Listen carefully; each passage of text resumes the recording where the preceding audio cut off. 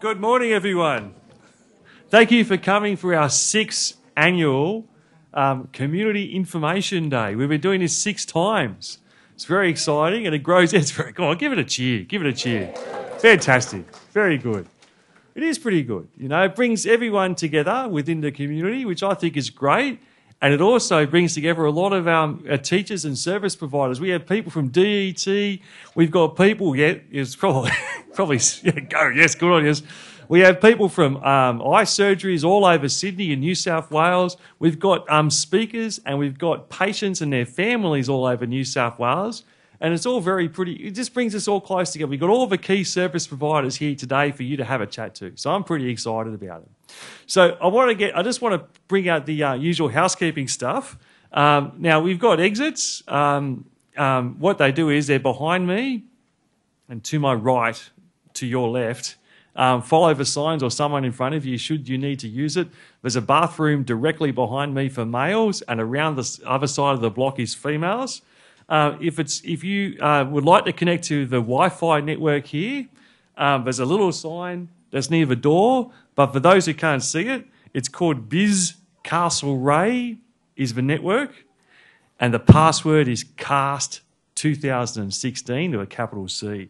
If you need help with that, let me know. There's two breaks today: 11 a.m., 1 p.m. Um, 11 a.m. being morning tea, 1 p.m. being lunch. Before we get started, I'd like to acknowledge the Gadigal people of the Eora Nation, the traditional custodians of this land, and pay my respects to their elders past and present. We'll do our very best to keep on time today. For um, people who need it, I'll use an audible bell that's five minutes before the end of your speaking time, otherwise, I'll visually signal you. The theme for today has three parts it's got inspire, empower, and educate. And there's three parts because that describes the three parts of the Save Sight Institute. One of the questions that's come up in feedback forms from previous years is, you know, we've all, like, you know, as patients, we interact with Save Sight. We might see a couple of the doctors or professors. But what does the Save Sight Institute do? And what I have today is a special treat for you. I've got Professor Stephanie Watson. Um, she's one of the world's top researchers in her field, and she's also an excellent public communicator. She reaches out to, um, to media, She's helped advise movies. Um, and I, I, think she's um, and one of one of the best ways I could sum up what, the way Stephanie interacts with the community is a comment from a big donor, and he said the reason that I sponsor Stephanie's work is because I know that she interacts with the community and listens to their needs. It's not about um, prioritizing publishing papers; it's about working with us, with the community. Um, Stephanie has a, a great uh, background in, uh, she's, she's featured on Young Inventors, uh, which is a show on the ABC, and um, she's been instrumental as one of the inventors of the artificial cornea. Um, she's one of the top researchers at Sight, and she's going to help us sort of piece together the mystery of what the Sight Institute does. So please put your hands together for Stephanie Watson.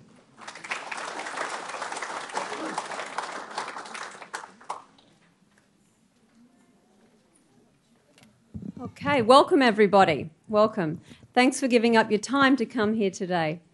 Um, thanks also for the invitation to speak and give you a bit of an idea about the Save Sight. And I'm calling this talk the Save Sight Institute Explained.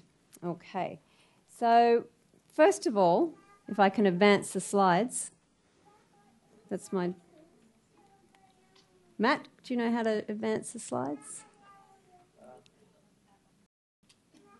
okay. Oh, there we go.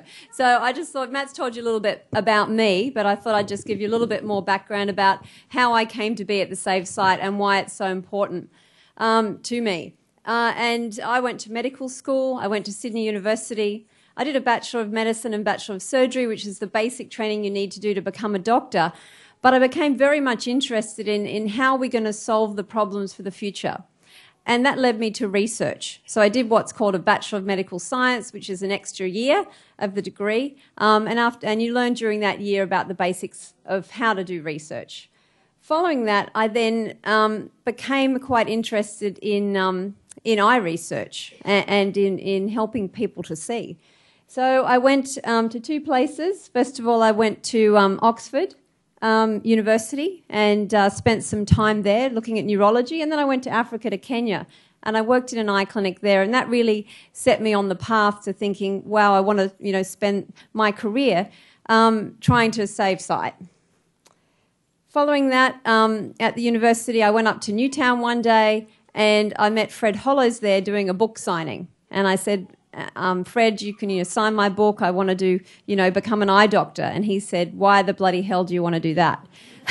and I said, Just sign the book. I was like a little timid medical student. I was like, No, just please sign the book. so that's my uh, that's my uh, book signing there. And, and again, you know, it really inspired me along the path. Um, and I sort of ended up, after I'd done my eye training, thinking, you know, that the cornea was an area that I wanted to go into. Now, as you all know, you know, um, vision can be impaired from multiple parts of, eye, of the eye. Uh, and um, the cornea is one of those parts. It's the window at the front of the eye. So to um, sort of pursue this further, I went to Moorfields Eye Hospital in London, where I did a PhD. And that PhD was looking at new therapies for people with corneal blindness. But as you know, it's not just the cornea. Worldwide, there are 253 million people visually impaired and 36 million legally blind. So we need new solutions. We need to be able to save sight on a larger scale. For the cornea, it's actually the third most common cause of blindness. It's irreversible and it affects all ages. Um, for children born with visual impairment due to the cornea, they have a lifetime ahead of them of increased morbidity. And the World Health Organization has recognized it as a priority eye disease. So, this is why we need places like the Save Sight Institute. We need to be able to fight blindness not all through treating people, through research, through clinical care. Now, who we are? Well, we're part of the University of Sydney. Um, there's the Faculty of Medicine, which has now been renamed to the Faculty of, of Medicine and Health Sciences, and we're part of the discipline of ophthalmology, and we're based at the Sydney Eye Hospital. Now, um, I put this picture in here because this is apparently the world's largest hotel. Uh, and uh, it's not the first, but Sydney Medical School is actually um, the first medical school in Australia and the largest, and we're part of it. Um, it has quite a number of centres, a huge amount of staff, and it's now ranked 15th um, in the world. The discipline, the history of it, it was founded in 1977 for the Save Sight Institute. Um, and we, sorry, the, the discipline, or Professor Billson was appointed in 1977, and the institute was established in 1985. Um, we moved to the Eye Hospital in 1997. Um, and then 2009, Professor Peter McCluskey, who's here today, um, took over. And um, sorry about this, it's just a bit tricky advancing these slides. Okay, and now under um, Professor McCluskey's guidance, we're actually ranked six in the world, and that's for eye institutes. So we're doing pretty well.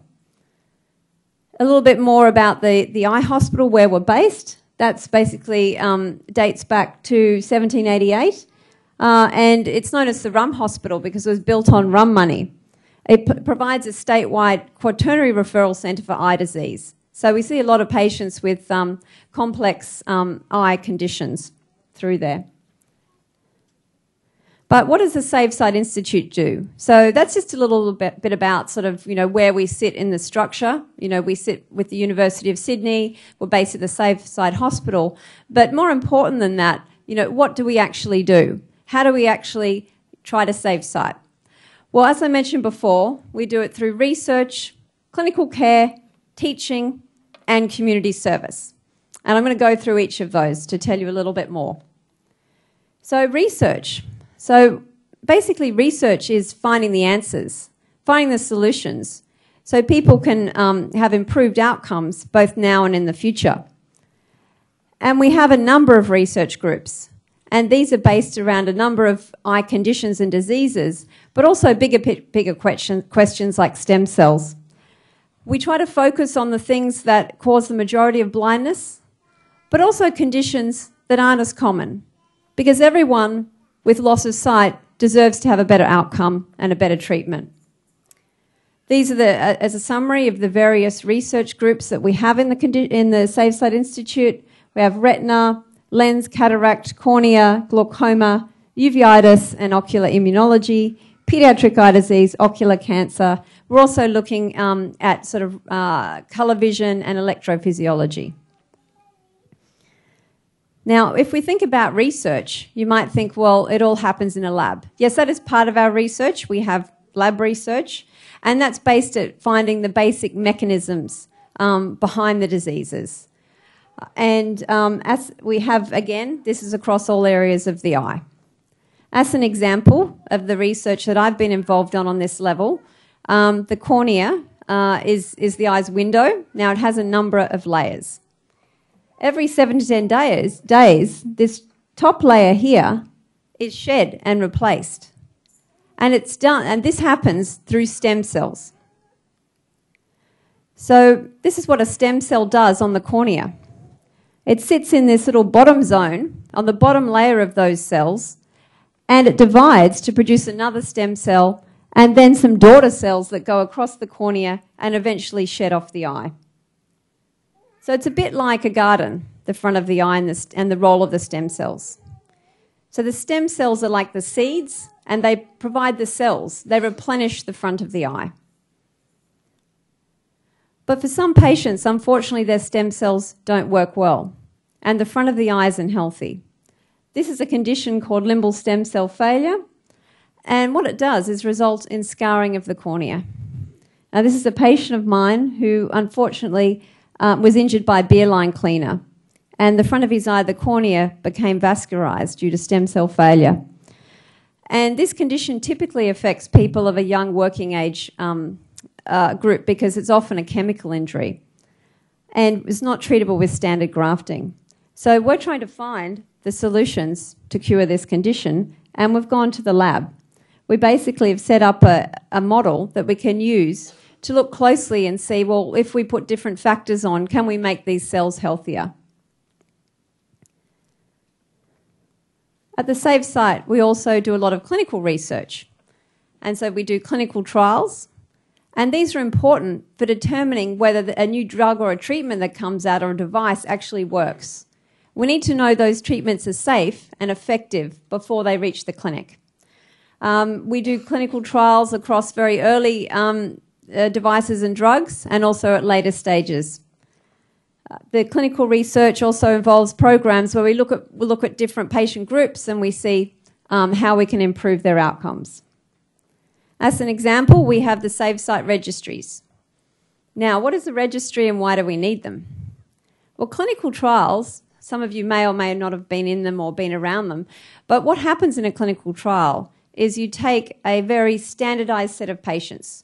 We have criteria. You can only get into a trial if you if you fulfill any of those strict criteria, and then we apply the treatments in a very standardized way. But as you know, when a treatment goes into the community, it's given to everybody. It's the real world. And in the real world, the treatments might react differently to how they do in a perfect clinical trial. So, um, Professor Mark Gillies set up the SaveSight registries, and it now holds one of the largest treatment outcomes databases for macular disease in the world. It's also important in, uh, in establishing the safety of treatments once they're in the clinic. So, this is uh, a branch of the registry that I run um, for a condition called keratoconus, which typically affects um, young adults and is progressive. They get progressive blurring of vision. And what we're doing with this registry, we're trying to find out which treatments work and which are the best treatments and when to deliver them. It's been quite effective. We're, we're collecting outcomes data at a rate of about 10% a month. Um, clinicians are able to use it to benchmark their treatments against um, other clinicians in the registry. So that way everyone can, can move closer towards providing the best care. But most importantly, we're asking patients what they think about the treatment and what are their priorities. Um, these are called patient reported outcomes, and Dr. Alex Ferdy will be talking more on these later. With this registry, when patients come to the clinic, we can show them a graph of their treatment journey. We can show them what's happening with their vision, and also what's happening with how they're coping with their vision and their life. Another example of a clinical research project um, that we have going at the Save Sight is based around corneal infection. So, despite there being many modern antibiotics, patients still have corneal infection that can lead to blindness. In the elderly, one in 10 can lose their eye after infection. And for children, they end up with lifetime vision loss from amblyopia, which is lazy eye. So, what we're trying to do, we're trying to improve outcomes. We're trying to turn this sort of outcome into this outcome. And how we're doing it is we're basically, first of all, trying to figure out, well, which bugs cause the infection. And to do this, we need to educate the registrar and training doctors on how best to take samples to identify the bugs. We're then producing guidelines to educate clinicians on the best ways to treat the condition, educating the public and the patients on, uh, on um, what's appropriate therapy. So these days, many people get chloramphenicol if they have a red eye. So they go to the chemist and the chemist will give them chloramphenicol. But for patients with corneal infection, this can actually lead them to have a delay in presenting and also a worse outcome. So um, we're trying to educate um, the public uh, and our patients about the signs of keratitis and what chloramphenicol should be used for. We're also improving, trying to improve the patient experience. So for patients with keratitis, they get admitted to hospital and they're given eye drops hourly, day and night, um, for two days which can be fairly traumatic, and often they're admitted at short notice. And so, one of our research projects recently went and asked the patients that were in hospital um, how they found the experience. They've a lot of them found it quite difficult being told at short notice that they had to be, um, you know, admitted to hospital. Uh, one patient had parked their car at a train station um, come some hours to Sydney and then be, been told, look, you have to come into hospital straight away, and the, their car was still at the train station. Um, and then when the patients get discharged, often they're not sure about things like whether they can drive, when they'll see again. So we're reaching out to the patients to ask them, what, what is your experience of care and how can we improve it? Um, clinical care. So the Save Sight also provides clinical care and many of you might be patients of the Save Sight Clinic. And we cover all subspecialty areas, and we have investigations that are quite specialised and not available in um, practice outside the Save Sight. So, one of these areas is electrophysiology, and that's important in diagnosing um, retinal diseases. We have multidisciplinary clinics, and this is um, a clinic run by Professor Peter McCluskey, uh, and this combines both ophthalmologists um, and a paediatric rheumatologist to ensure that we're delivering the best care. So, um, in this clinic, I have a role in uh, looking at the corneal problems. Uh, and part of this is, you know, in ophthalmology, we're very subspecialized. Um, we have corneal doctors, we have retinal doctors, but um, as many of you will know, often you can have a problem in more than one area as a patient. And we're looking at ways to try to make sure we bring that care together. So people aren't coming to the hospital for multiple clinics at multiple different times. Also, in some con- eye conditions, th- there's effects on the body. And particularly for children, we need to make sure that their general health care is also the highest quality. Teaching. So we do a lot of teaching. And this is really key because to deliver the care that we need for the future and to continue to save sight, we need to have an, a new generation of experts coming through. We need, to, we need to increase and expand the eye expert or eye care workforce. So we teach medical students, we teach eye registrars for the Royal Australian and New Zealand College of Ophthalmologists, um, we teach other ophthalmologists, and we do teaching for ophthalmologists that come from other countries uh, and then go back to their country and to provide specialist care. In the last um, five years, I've trained people from England, from Malaysia, from um, Vietnam, um, from Austria. Uh, it's really quite mixed. And so the Save Sight is, is improving the, the eye care of, of um, patients across, around the world. Nurses, we train orthoptists and other doctors. um, we train students. And this was a particularly proud moment for me on Thursday night. Um, myself and um, Professor Frank Lovicu, both with the Save Sight Institute, were nominated as Supervisors of the Year at the University of Sydney. And uh, um, our students here, uh, Maria, Alex, Daisy, um, and uh, Frank's student here, we all gathered together at the university in traditional student form and had beers and pizza. So to, to celebrate, which is uh, which was nice.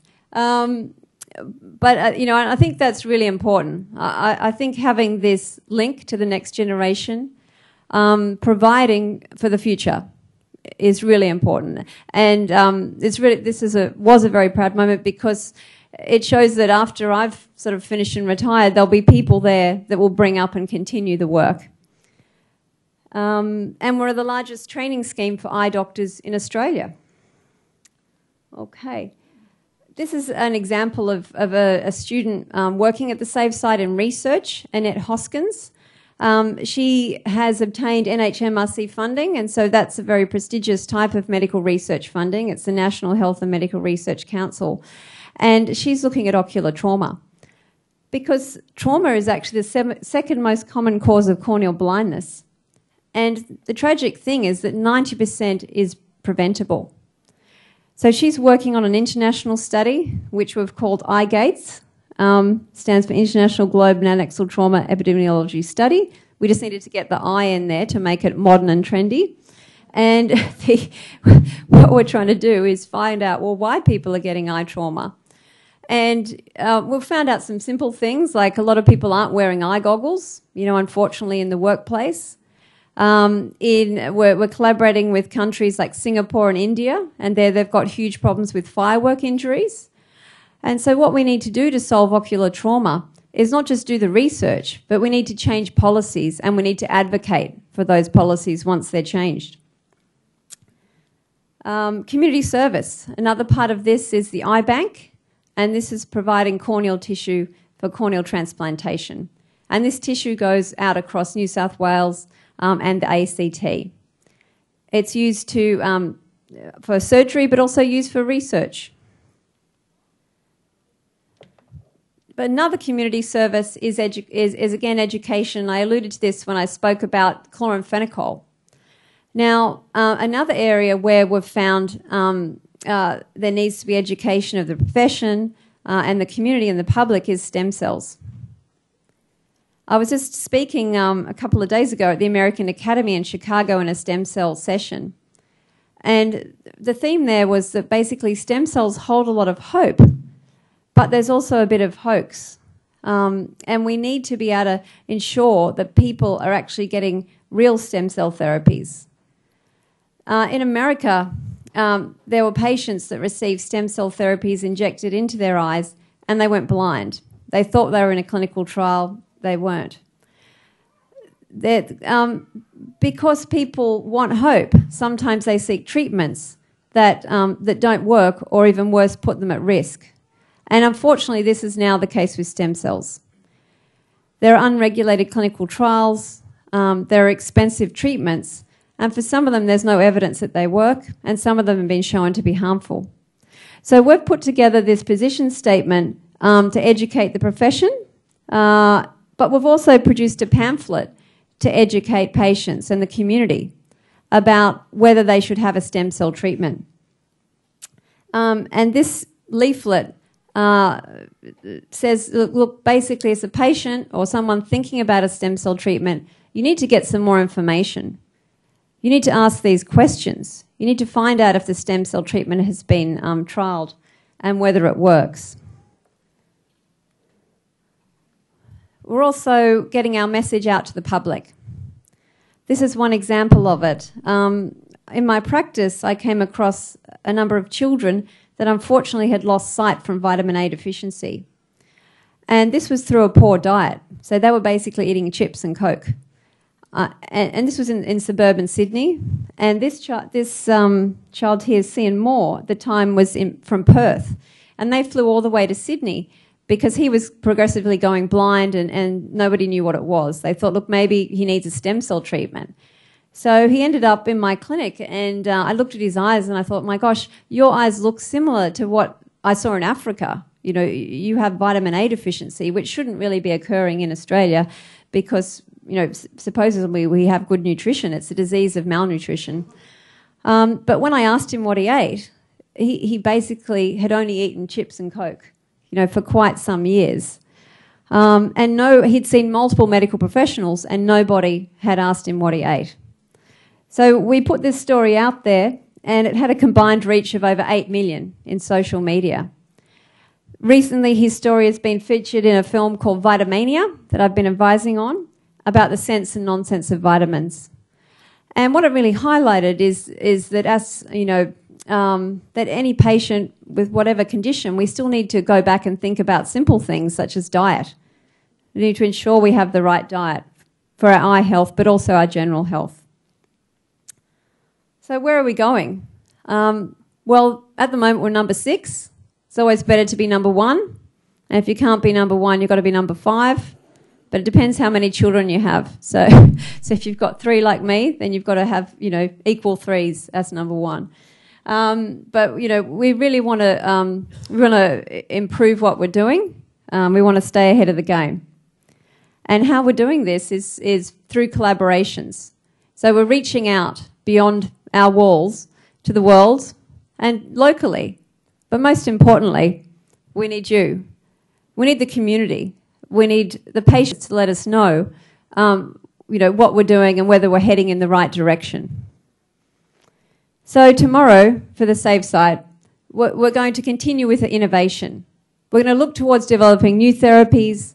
We're going to educate and improve practice. We're going to seek partnerships, and the eye experts that we've trained, I hope, will become part of these networks of the future. And we're also going to look at policy in order to transform lives. But most importantly, we're going to seek to have better patient outcomes. We're going to seek to deliver treatments and outcomes that are meaningful for the community and for you. Thank you.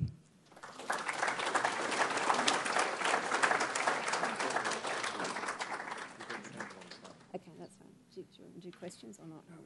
Okay. Thank you so much, Professor. That was really appreciated.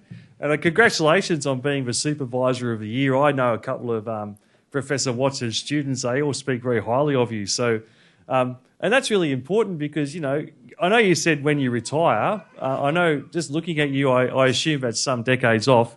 Um, but uh, what I was going to say is um, the, um, I, I, think it's great that we've got, um, you know, you know, we're one of the leading institutes training up people from all over the world and people travelling all over the world to learn from us. I think it's great. And it really goes to what the Save Sight Institute's all about. It's really, I mean, these are high stakes um, clinical treatments and you want to work with people that you can trust. And it's good to see that we can work with some of the leaders in the world. Um, as part of our theme today, we are um, talking about inspiring us, and we're going to try something um, um a little bit different. We've got Jan McLeod. Now, Jan um, has 20 years' experience as senior management, and she's worked um, with some very high performance um, individuals that, that, that run uh, large companies. And her current consulting business works with trying to help these people reach their peak performance. And it's all about working with them on their cognitive approach. And it's all about working on, on, on other approaches with nutrition and so on and so forth. Um, she's um, a, a, in demand speaker. Um, she speaks regularly, and we're privileged to have her um, give us a bit of a talk today. And um, I would like to invite Jan up to um, give us a talk on high performance. Thank you.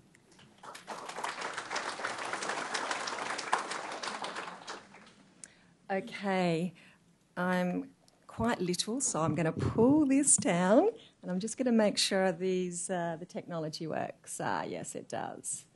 Okay. Um, thank you for having me here today. Um, it's a pleasure to come along. Um, but first of all, um, I also want to congratulate you. Um, I met um, Professor Peter McCluskey in one of the workshops that I delivered for a professional body that he is part of, and he invited me along today. And I've really got to congratulate you on the work you're doing. It is uh, quite inspiring for me personally. So we have 30 minutes, and I really have three things that I wanted to talk to you today. The first is let me just introduce myself um, and maybe give you a bit of a little bit of a background as to why I'm actually passionate about this topic um, that I call peak performance and high performance mindset. Um, when I was 11, I was a very high energy, happy kid who loves school. And within a reasonably short period of time, um, I was crying each morning. I didn't want to get out of bed and I didn't want to go to school. And it turned out, with a bit of investigation, that I'd actually had an autoimmune disease. So at a very early age, my health and well-being became the centre of my world. Um, and what it meant, or what an autoimmune disease means, is that there's part of my body that my body sounds kind of weird, but doesn't recognize as belonging to me. And for me, it's this thing in my throat, which we call the thyroid. And if you want to think of this simply, what is the thyroid? It's the thing that's the engine in the car. So it's the sort of size of the engine you've got that keeps you running each day. So um, from an early age, health, well-being, energy became central to who I was and how I lived my life. Um, I went on I went into cor- I went to university. I went into corporate. Um, I did a business role, and eventually I decided that I wanted to do something different, where I was giving back to the wider community. So I retrained in nutrition, and now I combine my business experience with my nutrition, and I focus on two things. The first thing I focus on is something I call peak well-being. I don't say perfect well-being, I say peak well-being. So what I'm going to do today is try and give you some messages about how you can optimize your well-being given your circumstance. A little bit like me. The autoimmune disease is still with me. It's ebbed and flowed, and as I'm getting a little bit older, it's starting to present different challenges for me. The second thing I, I focus on is something I call a high performance mindset. And what I really mean by that is I'm helping people be aware of the way they think. Because you are what you eat, but you're also what you think. And so it's bringing people awareness as to how they think and how that shapes their choices and therefore, in particular, influences their well-being. So let me move on. My first task today is to just introduce in a little more depth the three themes of today. The first one is education. Now, we've talked and we've heard a lot around research, but when you're sitting there and you're listening to the speakers today, what I would encourage you to do is identify the new insight or the learning that resonates with you, with where you're at, with the challenges that you're being faced with, or the challenges of those people that you're working with and what they're being faced with. Because what I know, I love education and I love study, is that we can learn a lot, we can listen to speakers, but we can end the day with our brains full and feeling a bit overwhelmed and work, walk away having learnt some things but not applied them. So try and put a filter on as to what it is that you want to learn today, what you hear that you think will be of most use to you. Because that brings me to the second theme, and that's empower. The word empower to me is all about building a toolkit of strategies because you need the strategies in order to apply the learning or the insight. So you need to identify the insight, the new learning, the education, the piece of research that may significantly shift the quality of your life or those you're working with. But you also need to know what is the strategy that you'll need to benefit from it to truly leverage the full value of what it's offering. And the third theme is inspire. So if I have to sum up inspire, inspire to me means your call to action. You can see I've thrown a lot of words up there. Inspire is what you will require personally to be stimulated, motivated, caused, persuaded, encouraged, influenced, roused, moved, stirred, spurred, or energized to take action and sustainable action.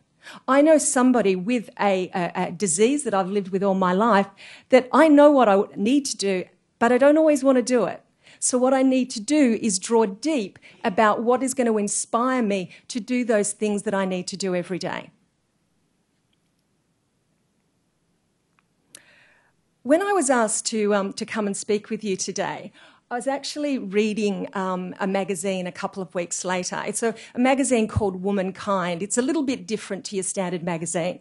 And it's full of quite often these amazing quotes. And by sheer accident, I came across a quote which I thought was quite compelling that I would share with you today. The quote is The only thing worse than being blind is having sight but no vision. That quote is actually from Helen Keller who, as you may know, was actually um, subject to an illness just before she was two and was left deaf and blind. And I think what she was doing is she was trying to impart this concept or these themes of education, empowering yourself with strategies, and inspiration.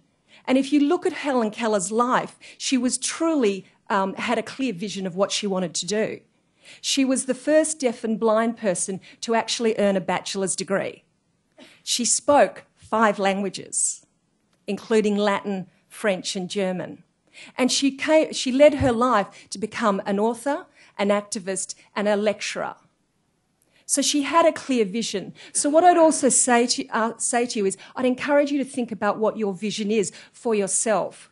We don't all need to be Helen Kellers. I'm certainly not a Helen Keller. But you need to understand the why of what you want to achieve and how you want to live your life and the quality of how you want to live it. There's two more things that I want to touch on today in the time I have with you. The first is nutritional health and well-being. Won't be a surprise, being a nutritionist that I am, that I really want to give you some simple but some clear messages. I was horrified to hear of the patient with a vitamin A deficiency in a country like our own. But unfortunately, I am in clinical practice um, as well as uh, doing a lot of business work around health and well-being and high performance. I too often see, or I have clients and patients who come to me where I find they're not well because they're not doing the simple things. So people say to me, Well, what's nutrition about, Jan? Isn't it just about food?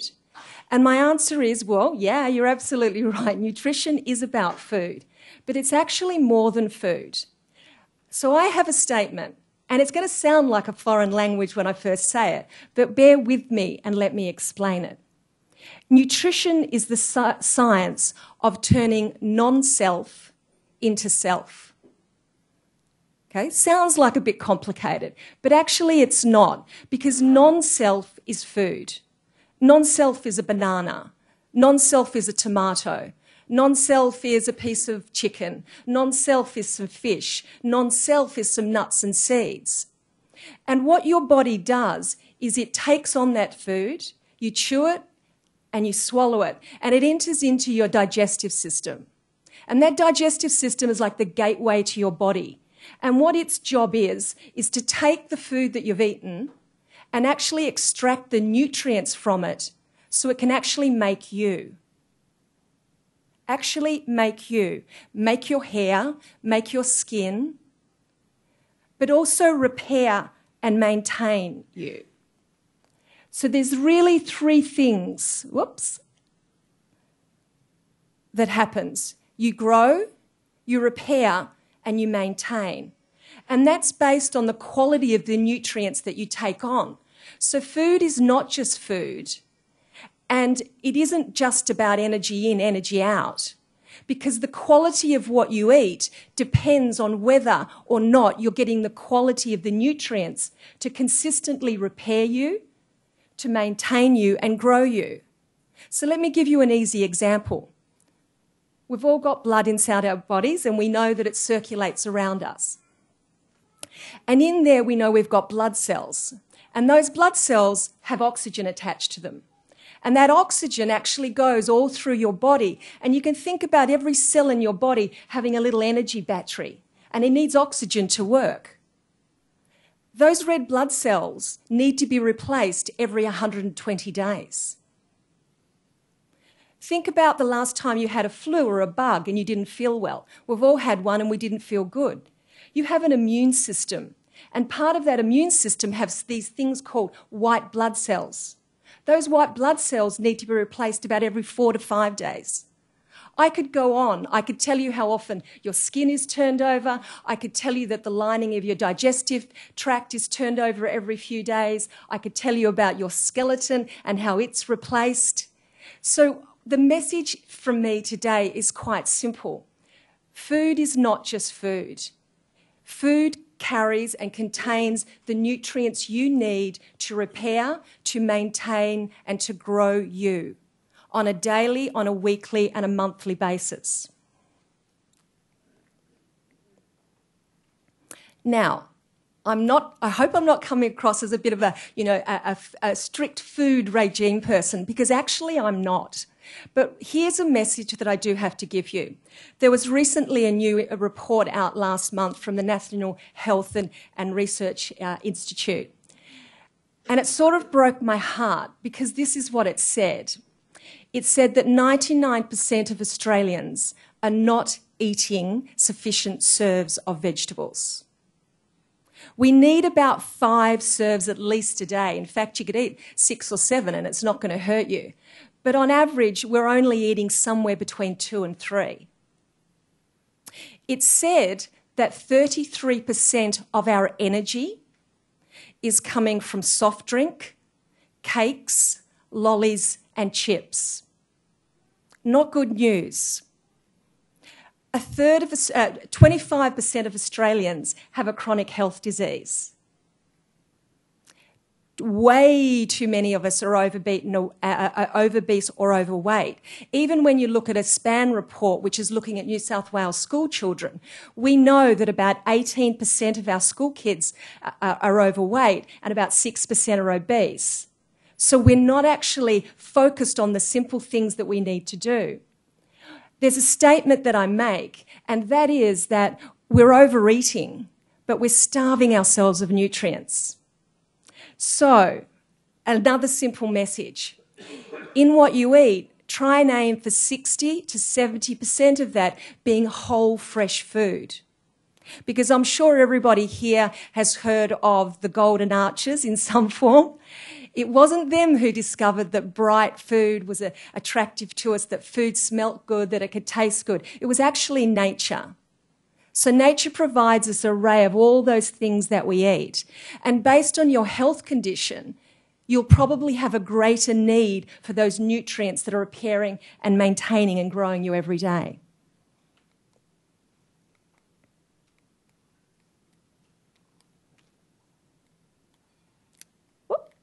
Let me go back. Oh, I've jumped way forward. Sorry. Bear with me. Ah, that one. Okay. Another small statistic to give you to maybe raise some awareness. There's a lot of research out there that says that we underestimate by 40%. Yes, I said 40%. Not just how much we eat, but what we eat because many of our decisions are automatic.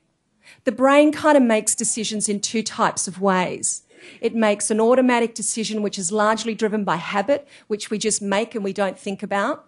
And then there's a type of decision where we have to stop, we have to um, expend effort thinking, analysing, in order to arrive at a conclusion or a decision. So, if 40% of your decisions are automatic, it means that you really need to actually invest that effort in developing and cultivating those basic habits every day that you don't need to think about. And here's one simple strategy I can give you to think about. It's called a healthy plate. So I can talk about serving sizes and I can talk about macronutrients and micronutrients and I can even get into topics like epigenetics and nutrigenomics. But really, if we boil it all down, a healthy plate is a really simple message to take away. And what it's saying to you is that when you construct your plate, try and aim for 50% of it to be fruit and veg. 50% of it to be fruit and veg. Try and, and, and fruit and veg, so mandarins, um, bananas, blueberries, strawberries, and all of your veg, your capsicums, your corn, your sweet potato, your salads, uh, your carrots, all of those great things. 25% to be quality protein. So we've got all our meat proteins. We've got chicken. We've got fish, barramundi, salmon, tuna. We've got lean red meat, but we've also got our plant proteins like um, beans and chickpeas and lentils and nuts and seeds. And then the last 25% is quality carbohydrate. So when you hear me use that word quality carbohydrate, the word I'm really implying is carbohydrates with fibre.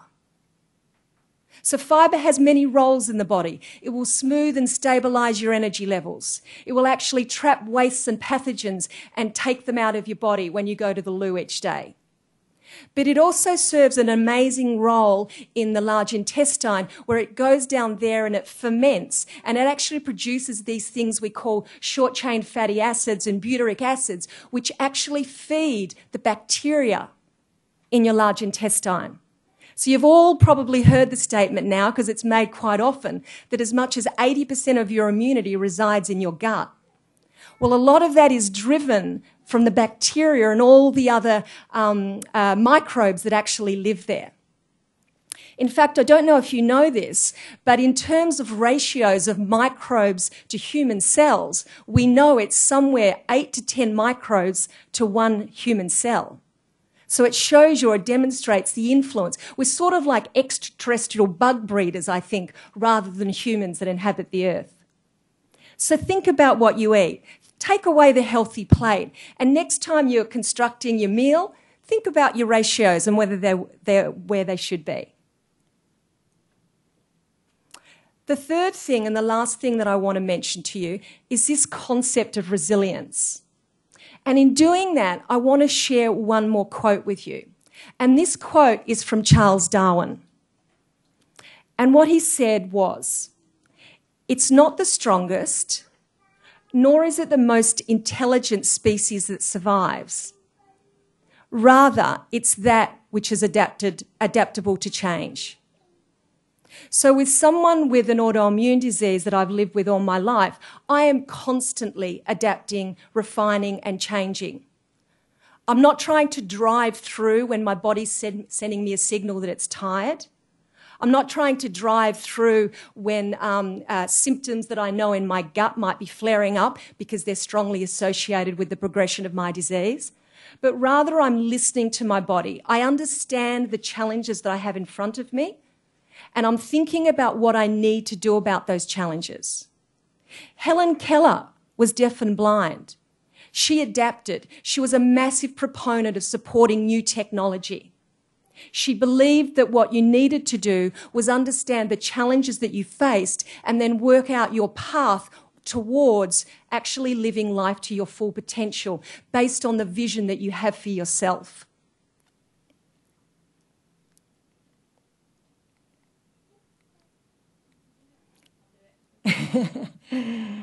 and that brings me to this concept of stress. It's something that I talk about a lot and people ask me to talk about. Stress is a state of physiology. It's triggered by many things. And in the, in the life that we live today, which is incredibly busy and seems to be getting busier and busier, it, there's also a lot of complexity. So when you think of resilience, stress is normal. It's a common part of life. We can't escape it. What we need to do is we need to be adapting. We need to be finding our way to work through it. Now, many of you have eyesight challenges, very confronting and very challenging. But I encourage you to continue to adapt, to work out what you need to do to take the step forward so that you can better live with the challenge or maybe resolve or redress the challenge that you've got. I'll repeat it again. Resilience is not about the strongest. It's not about the most intelligent, nor is it about the most perfect. What it's about is adaptation, refinement, changes, What do you need to take the next step? And if you think about the three themes today, that's what they're trying to help you do. Be more resilient. Education, it's about giving you new insights.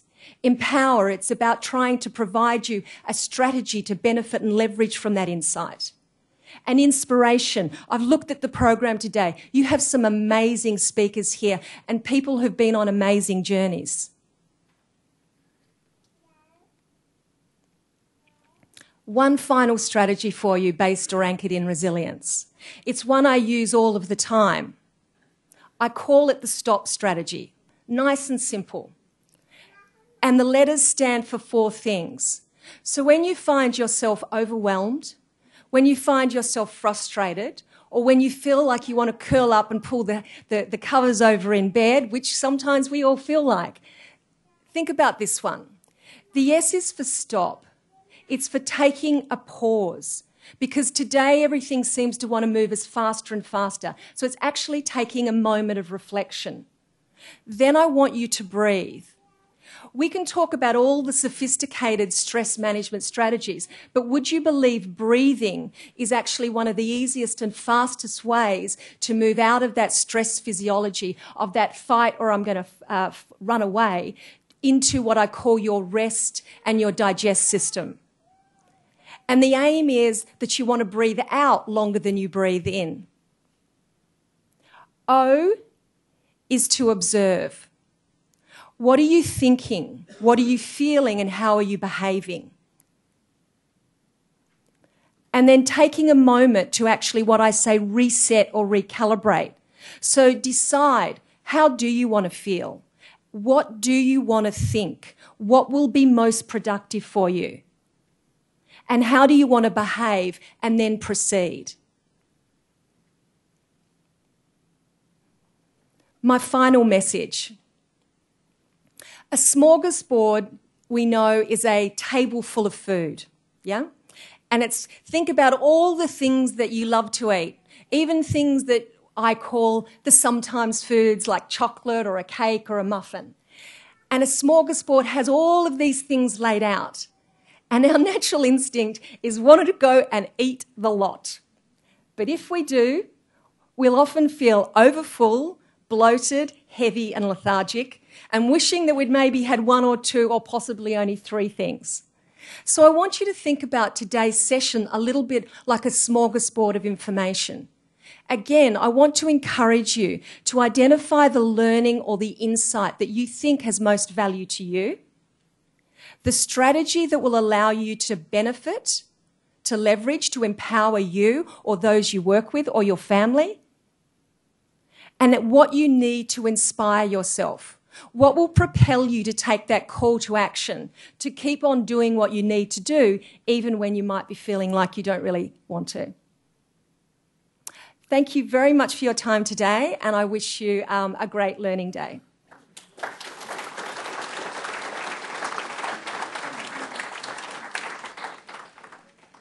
Thank you very, very much. Um, I notice some of you probably have questions for our speakers. So, what I might try and do is encourage you to seek the speakers out during the break, and so we can hold primarily the time. Now, we've just talked about high performance eating. Um, I know a high performance um, athlete who once was interviewed, and during that interview, she said if she was the ruler of Australia, what would she um, make a new rule for? And she said, I would make a rule that there'd be chocolate Tuesdays. That everyone would have to eat chocolate on Tuesdays and they wouldn't get fat. Um, and that indicates the kind of um, the kind of high energy and the high, uh, you know, just just the general happiness of our next speaker, Brodie Smith. Brodie is a high performance athlete. She has played goalball for locally, nationally, and internationally. I think most recently in Budapest. Um, she's just she's just a very bubbly person. And what's good about Brodie is that she's not just playing goalball, but she's going to be teaching the next generations of Australia. So if the future of Australia is in her hands, she will be a primary school teacher. That's what she's training for. Um, but I think that what, what, what the best part is that you know in the past. Um, at these days, we've always focused on career and we've always focused on school, and these things are very important, as you know.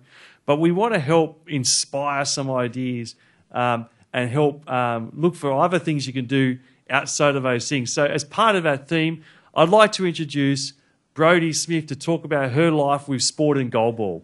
Put your hands together for Brodie.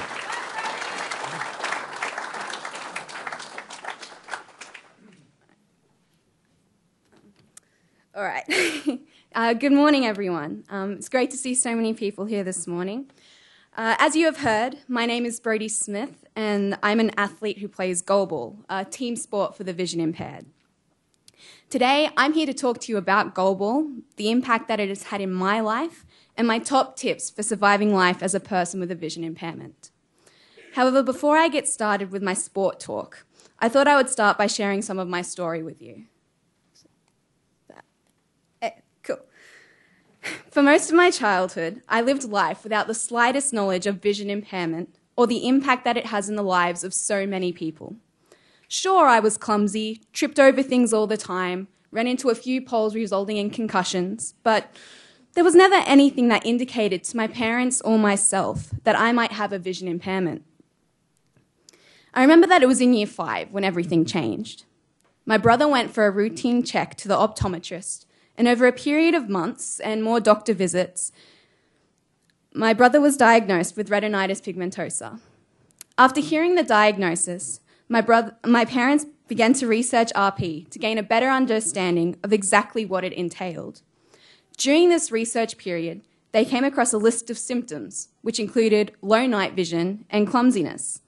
After hearing these, it did not take them long to figure out that I might have RP too. Following this revelation, I suffered through several tests and multiple eye drops until the conclusion was reached that I too had retinitis pigmentosa. In fact, my case of RP was so much worse than my brother's that I was and still am considered legally blind.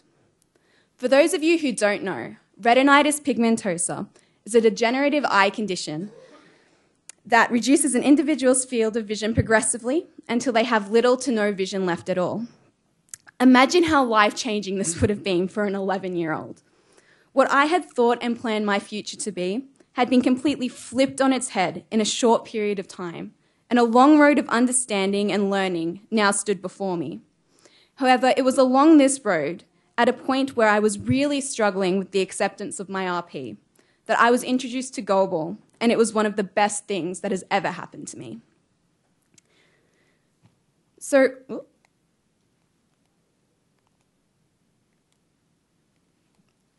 bear with me. so, goalball is a truly interesting sport. How many of you here have heard of goalball today? Oh, that's actually quite a large number. I'm impressed. Um, normally, this is the point where I would begin to explain what goalball is and how it is played. However, if you don't know what it is, um, you would all be looking at me with uh, blank stares of confusion on your faces. So, if you wouldn't mind turning your attention to the screens, I'll let a short video fill you in instead.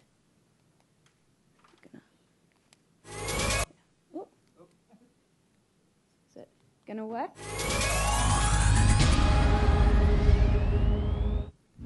Goalball was devised in 1946 as a rehabilitation activity for visually impaired World War II veterans. It was introduced to the world at the 1976 Paralympic Games in Toronto and is played by both men's and women's teams. Goalball is exclusively for athletes with a visual impairment. To be eligible, athletes have less than 10% vision remaining or a visual field restricted to 20 degrees.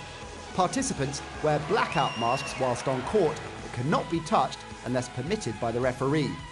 The court is 18 metres by 9 metres. Each team's goal stretches the entire width and is 1.3 metres high. The hard rubber ball has a diameter of 25 centimetres. Two bells inside the ball help orientate the players of the direction of the oncoming ball.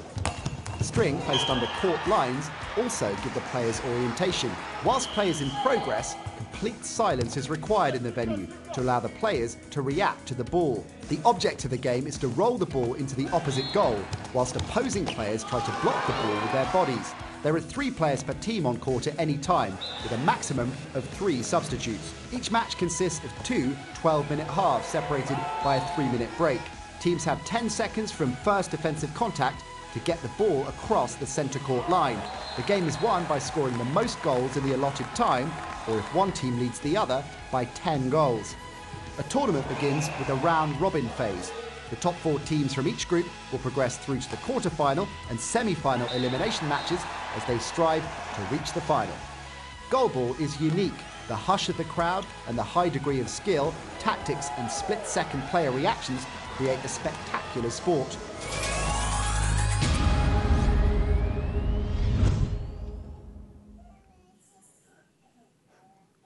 So, as you have just seen, goalball is a unique sport that was designed specifically for individuals with vision impairments after the Second World War. The ball has bells in it, and everyone wears eye shades. And let me tell you, it is a mix of pure excitement, fear, and joy when blocking a ball hurtling at you from the other end of the court.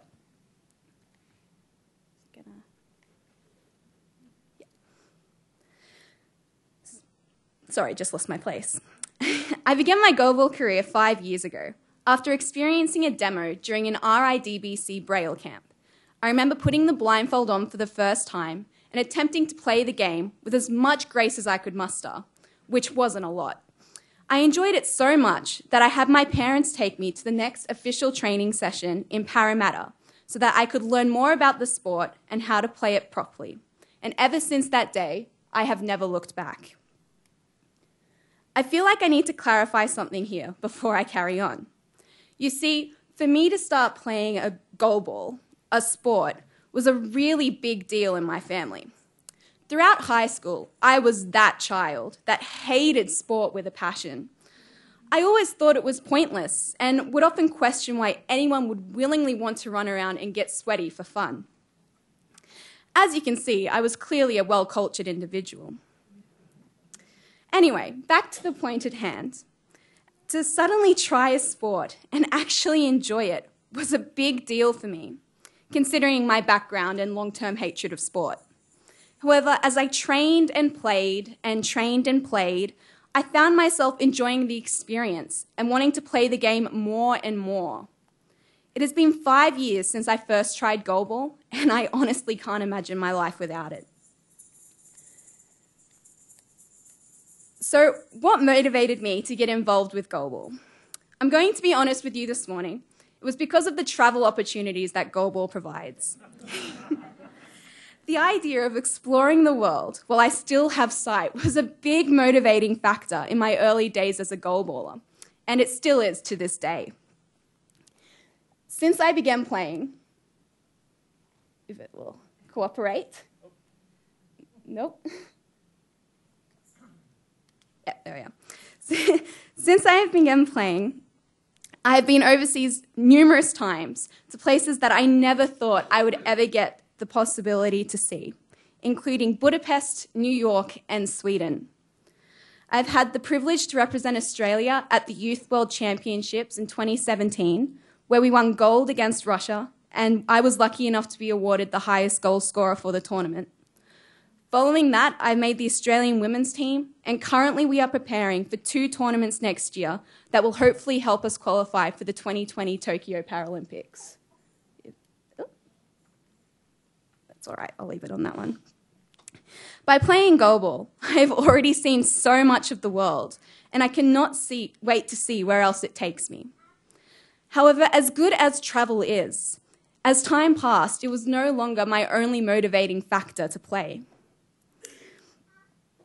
As my skills continued to develop, my motivations changed, and I realized that I was training more and more because it helps keep me healthy, it allows me the opportunity to represent my country, and it gives me a sense of accomplish- accomplishment and pride. One other key influencer that motivates me to play is the friendships that I have formed with other individuals who play goalball. They understand what life is like with a visual impairment and it is enjoyable to share experiences with a group of people who can relate to you. Having considered why I play sport now, as a 20 year old, looking back, I can see just how important sport is in the life of a young person. For me, it provided an outlet for stress and anxiety. Um, it built me up, uh, built up my teamwork skills, and created relationships that are extremely important to me. Goalball or any blind sport provides a great opportunity for visually impaired individuals to experience all that sport has to offer without feeling disadvantaged or handicapped in any way. At the moment, you might not see sport as something fun or interesting. However, I would really encourage you to get I would really encourage you to get up and try something new and give it a go. Sport has encouraged me to make friends and grow as a person in ways that I could never have imagined. And I have created many memories that will last a lifetime through goalball. If you are interested in learning more about goalball, there are many places that you can find information, including New, New South Wales Goalball. Excuse me. There are many places that you can find information, including our Facebook pages, New South Wales Goalball and Blind Sports New South Wales, or through the New South Wales Goalball website.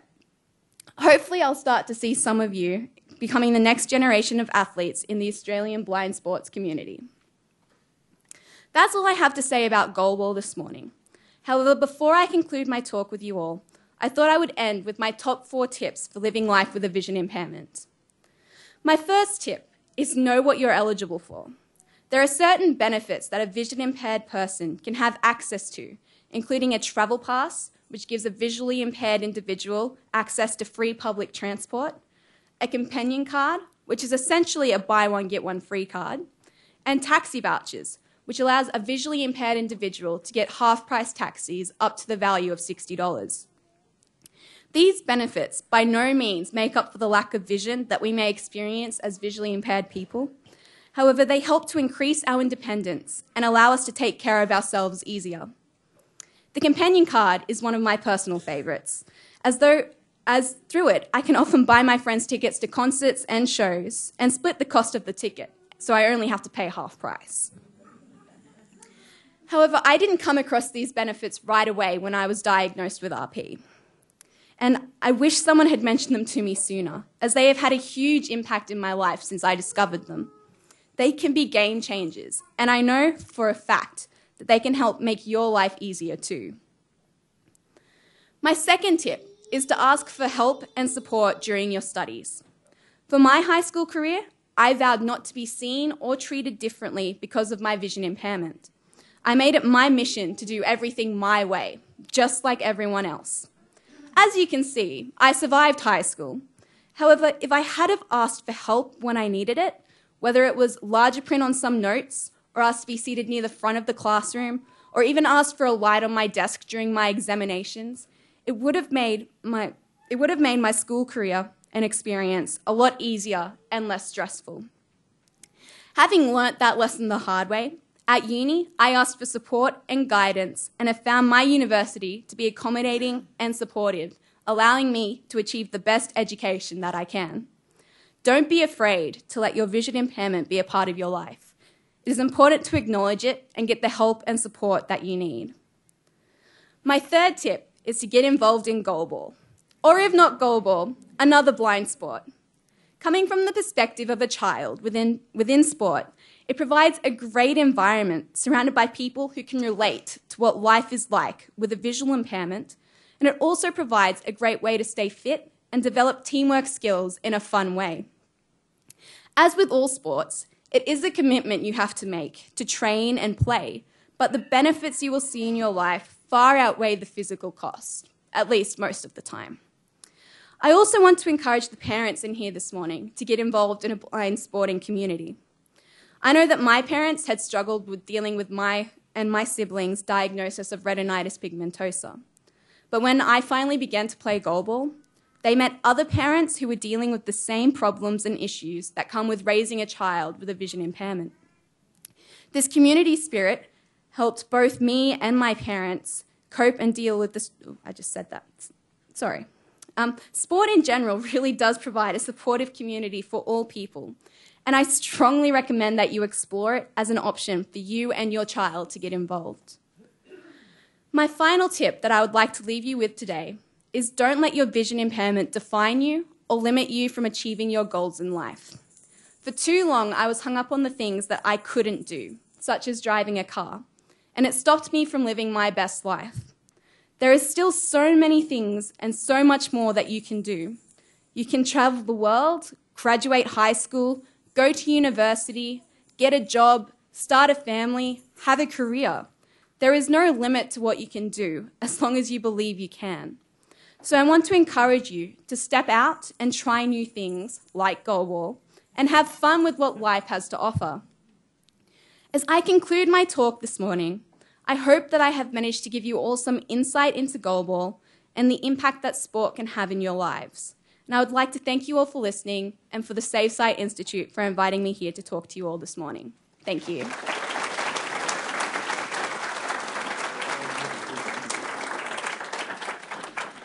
That was great. I really enjoyed listening to that. So thank you so much. That was awesome. We are blessed with yet another high performing young person. Um, Lara Narkle has a beautiful soul. You know, I've read uh, some of her media um, talks, and she's just so uh, honest with her journey that started as being totally blind through her life and, and how, you know, that blindness has made her feel a little bit um, a little bit different. And I know that a lot of her parents and and, and um, patients can probably relate to that. Um, but what Lara has found is she's found that she's got an awesome voice. And talking about voices, um, many of you may know that Lara performed very successfully on the on the on the popular television program The Voice and uh, really, really inspired a lot of people with her performance. So I've got a special treat. So I want to thank Lara for coming today. And Lara is going to talk about her journey uh, um, with music and sort of share some of that, that journey with us all today. So I'd like to put your hands together for Lara Narkle, please.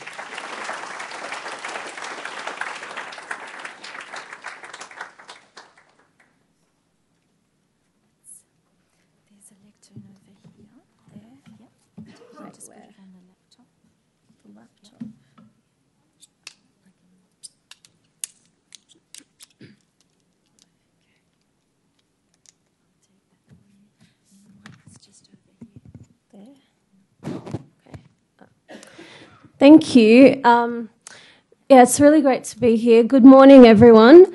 I am very honoured to be here today to speak to you all.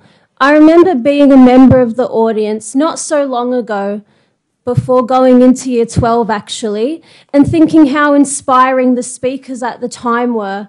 And here I am today, up here. It feels quite surreal, but that's the reality of time. It doesn't stand still, and as the seconds and minutes, weeks and months go by, we are forever growing and evolving into who we are going to be. On that note, I'd like to reflect on my younger years growing up and on some of my life changing experiences. I am one of two siblings in my family. My brother Chris is 14 months older than me, Chris and I were both born blind due to a condition whereby my mother and father are carriers of a recessive gene, which both my brother and I inherited, resulting in total blindness. At the time Chris was diagnosed, my mother was already pregnant with me, otherwise, they would not have tried to have any more children. Due to the risk in passing on these genes, which is one in every four pregnancies. So I'm lucky to be here at all. I just sneaked in. Growing up without vision was all we knew. So for us, it wasn't so bad.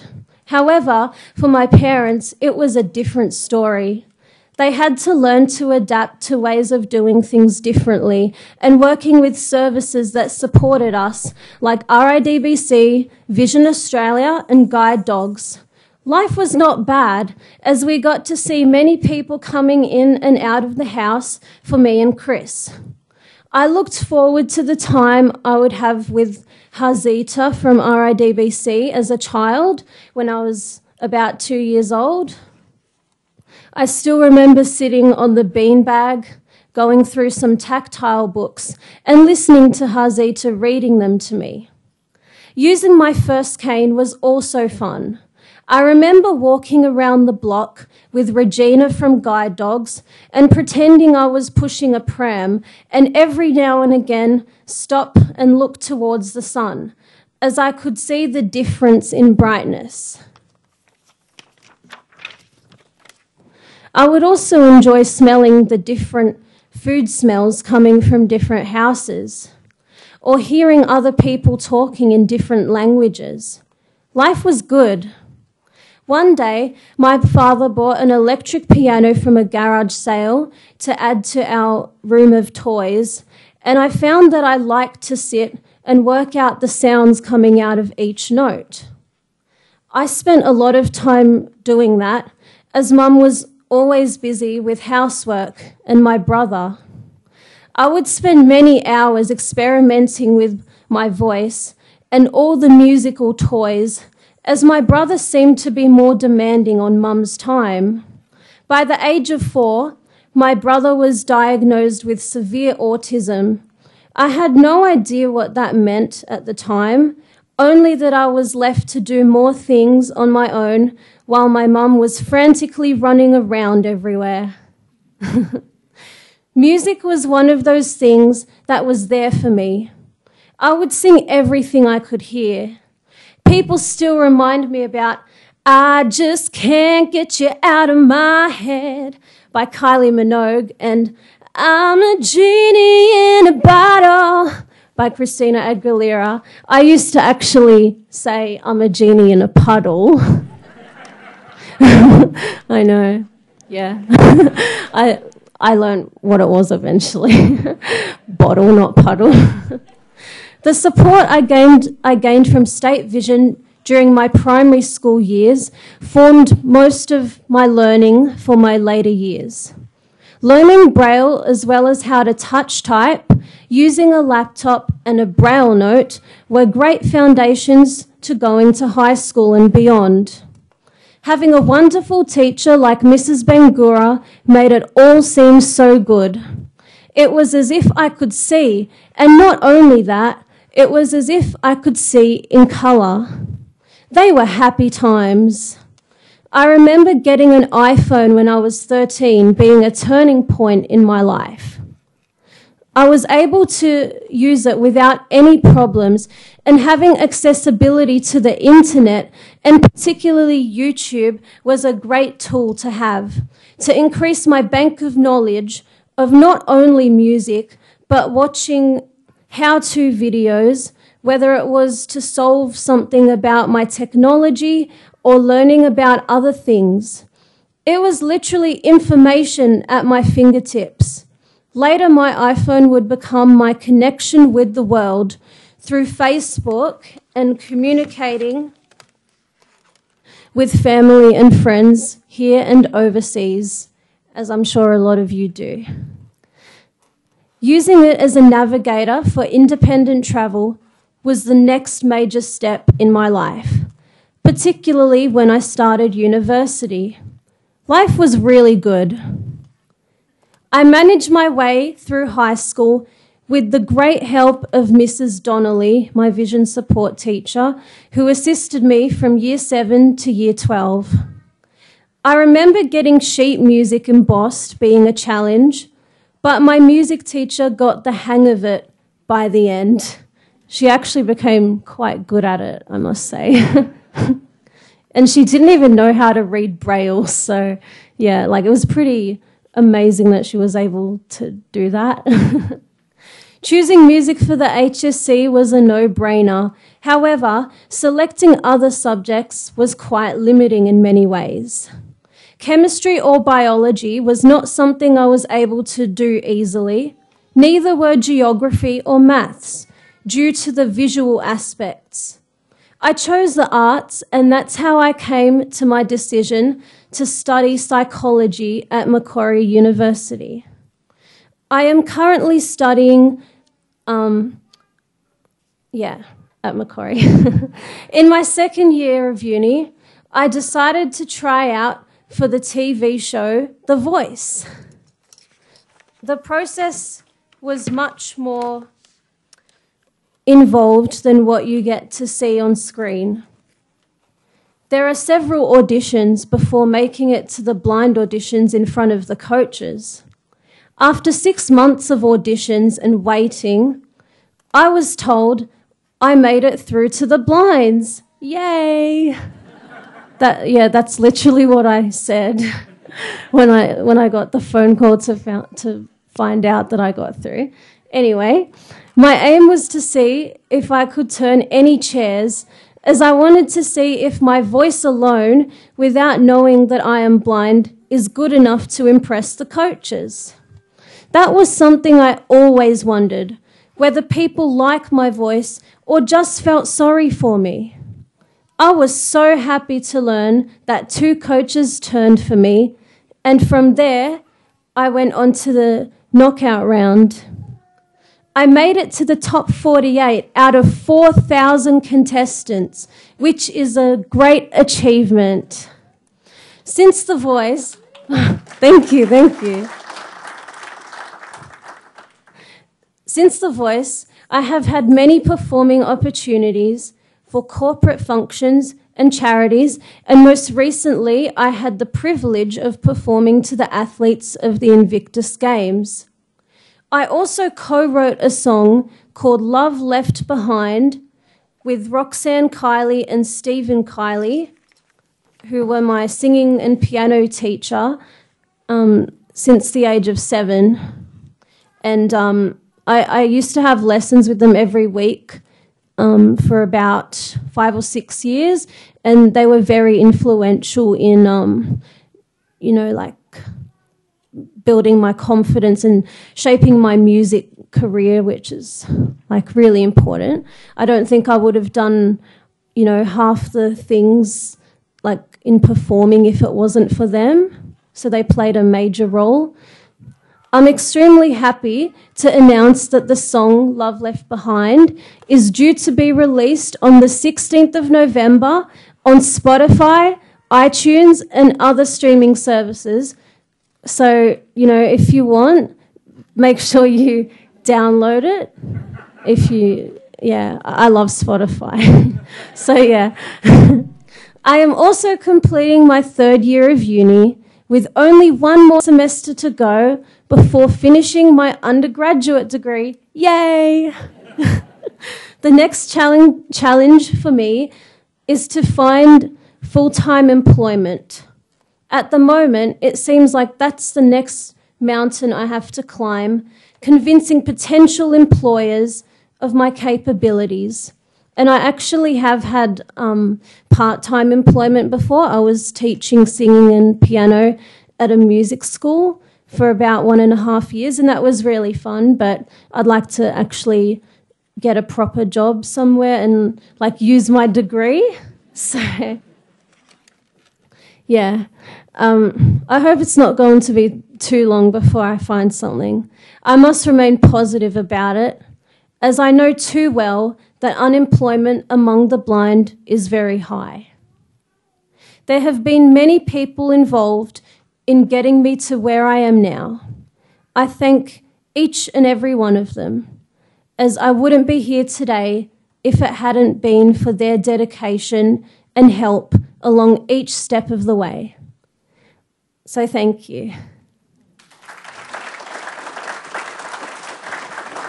And now I'd like to dedicate this song that I'll be singing um, to all of those people, especially my parents. And the song is Flashlight by Jessie J.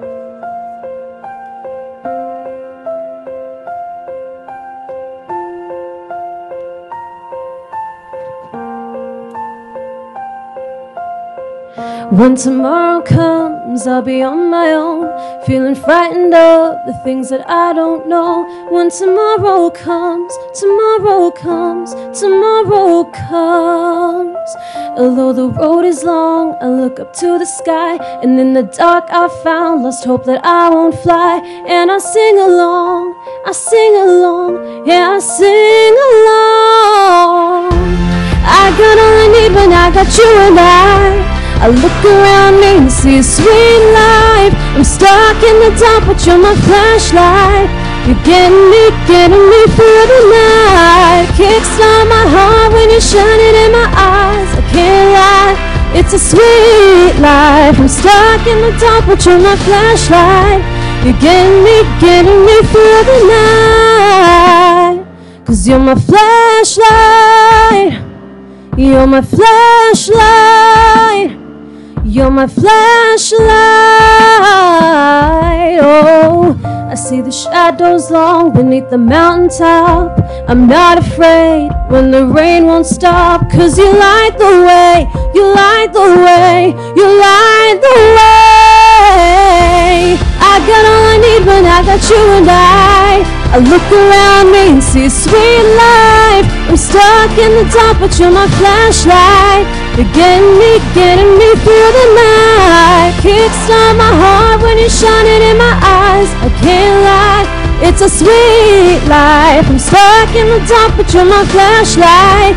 You're getting me, getting me through the night. Oh, oh, oh, you're my flashlight, light, light. You're my flashlight, light, light, light, light. Oh, you're my flash. Oh,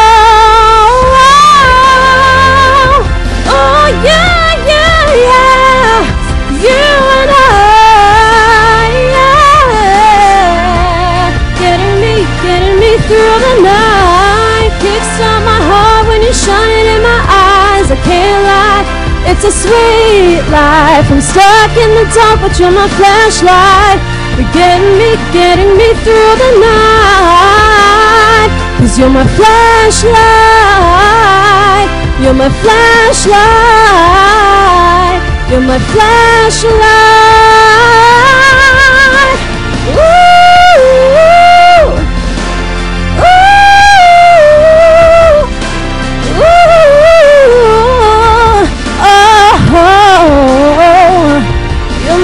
Flashlight, light, light. You're my flashlight, light, light. Yeah. Oh, you're my flashlight. Thank you so much.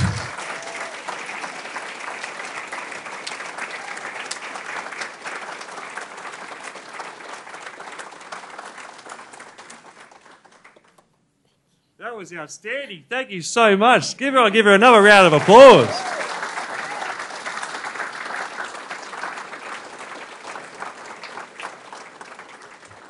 Well, I, I, don't really know what to say after that. I'll, I'll have to. Um, that's great. Look, um, we, we look, we're looking good on time. Um, what we're going to do now is we're going to take a break. But before we take a break, I just want to point out a couple of really important things. Um, we have a new role that's just started within the Save Sight Institute. We've started it before, but we started someone new in the role, is probably more accurate. Um, Lorraine Villaray, are you around? Can you wave or yell out? Thank you. Beautiful. All right. Lorraine is our new patient care coordinator. Um, and if you've got any questions about which agency that you need, that, that can help you with, with school or with AIDS or with recreation or anything like that, uh, you're not really sure to, who to talk to, Lorraine could definitely help you. She's around during the break. Um, our speakers from this morning, if you have any questions, are around during the break. And we're all amongst friends here. So if you can't find the speaker, then I am more than certain that if you ask someone, they'll try and help you find the speaker that you're looking for to ask the question. Um, which is really important to remember. So, uh, and the other thing you should do during the break is we have some wonderful service providers that have exhibits in, in the in the hall there. And if you have any questions about what they can do for you, then please stop by their tables, and I'm sure they're more than willing to help you out with any questions. We're going to have a half hour break. We're going to be back here at 11:30 for Greg Olkin. He's going to run through the latest in adaptive technology. So we'll see you soon. Thank you very much.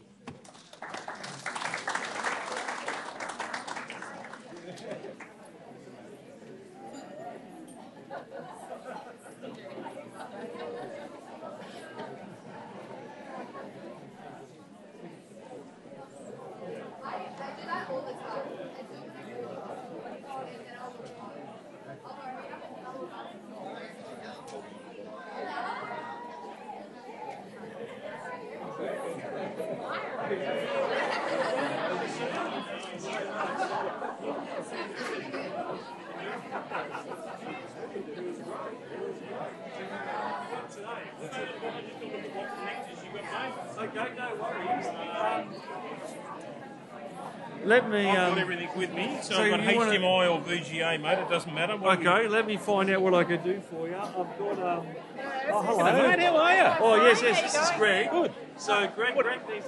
This is I've got a reunion tonight. Oh, really? Yeah, yeah, yeah. My year. Oh, wow, that worked out well for you. Yeah, it is. Excellent. I told when they were working out which weekend, I said, make it this one. Yeah, because I'm already here. I'm yeah. already here. Oh, that lady, where's it at? Sorry? Workies. Oh, yeah, of course. Yeah, yeah. And you well going? Yeah, I'm good. I'll catch up with you. You bet. I've got lightning. I've got I've got my iPad. I've got my lightning to VGA and lightning to HDMI connectors. So He's got all the hey. All right, beautiful. have, I'll leave it have with you. connectors. Will, will travel. Will present. Mate, you're a champion. Can I come back to you in a second? Yeah, sure, buddy. What are you? What are, what are you? What are we connecting via? That's all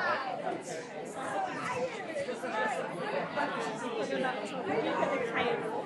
My, my little my little connectors. Yeah. Um, oh, hang on. No, hang on. That's going into VGA. So let's. Yeah, so VGA usually works better here. Oh, okay. Not a problem. Yeah. So, So I'm going to keep changing the cables. no, no, no, no. See, but um, we've had we've had lot now. We've had lightning for a while. So, but all I need. So I plug in there. Because it's my it's my iPad. I just need no no no. Yeah, it's just it'll be a straight. Because see, that's using that's using th- um. Because see, yeah, but Thunderbolt now is the same as USB C in the connection size. Sorry.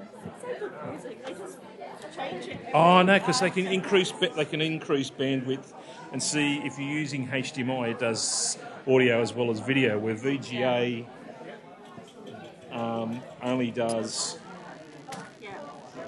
Oh, I just dropped something. Oh, What did I drop?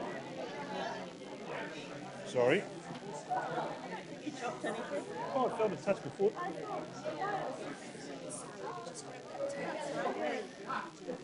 So let me just uh, better put this on orientation lock. Okay.